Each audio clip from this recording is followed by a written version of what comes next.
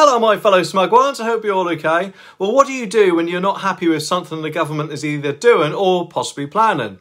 Do you have a moan on social media, write to your MP or you know maybe even start an online petition so hopefully it'll be brought up in Parliament? Or maybe do you try and storm a TV studio? Let's begin.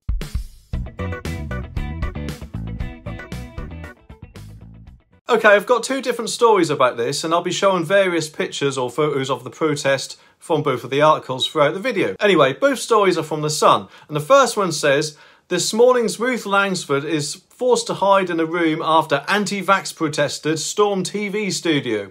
She was among staff and guests trapped in a room as protesters charged at the former BBC TV centre in London. Hubby Eamonn Holmes and others got out in time. Can you imagine that? Oh no, what's that coming? Oh, sod this, I'm off. Bye, darling, see you later, good luck. I guess she's lucky they're just both not in the purge film. Although thinking about it, he may have actually have left before they turned up, mightn't he? Anyway, a few thugs got inside as police struggled. A source told The Sun it was terrifying. No one knew if the protesters had weapons, and to be honest, that's quite a concern, isn't it? The protesters arrived after this morning had come off air. They seem to have an issue with the anti-vaccination issue has been handled on the show. And also Ruth had to be brought out by security shortly after being forced to hide in a room. I guess an Ofcom complaint clearly wouldn't have done. Although as far as I know, it was a protest against possible vaccine passports and vaccines for 12-year-olds. And whilst this may be a genuine concern that a lot of people may care about, unfortunately quite often protests do seem to be taken over by a few people that get out of hand, don't they? And then that is what is shown on the telly. And it doesn't make them look too good, does it? Although, that probably is unless you were in one of the protests last year about a certain matter. And I can't quite remember what that was now.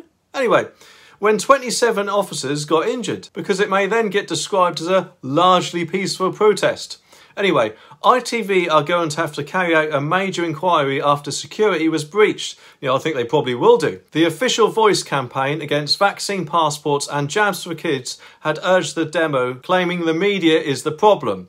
Now, I've been a good boy and I've been double jabbed, and I'm therefore obviously not an anti vaxxer, but personally, I am against the whole idea of vaccine passports because to me it just seems like a way of slowly forcing people to get the vaccine. Because otherwise, all those things that they used to do might either start to have some sort of limit placed on them or actually may even be hidden behind a vaccination requirement. And to be honest, I think it should be up to the individual person if they would like a vaccine or not, without having any limits or requirements being put on things. But I do think these people have gone about things the wrong way here. Although, don't get me wrong, Obviously, everyone is entitled to have, a, have or attend a protest about something, but storming a TV studio is definitely not the solution, in my opinion. Also, what would they actually expect to achieve by pushing past police and entering a TV studio in the first place? Or even if they actually managed to get on TV? I wonder if it would be anything like this. Oh, um, hi everyone. Um, yeah, please don't go ahead with the passports and things. Personally, though, I don't think anything like that would have actually helped their cause one bit, because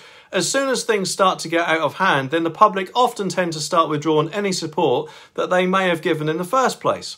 Anyway, the second story says ex-Coronation Street star Sean Ward faces off with cops as anti-vaccine protesters try to storm the BBC and ITV studios.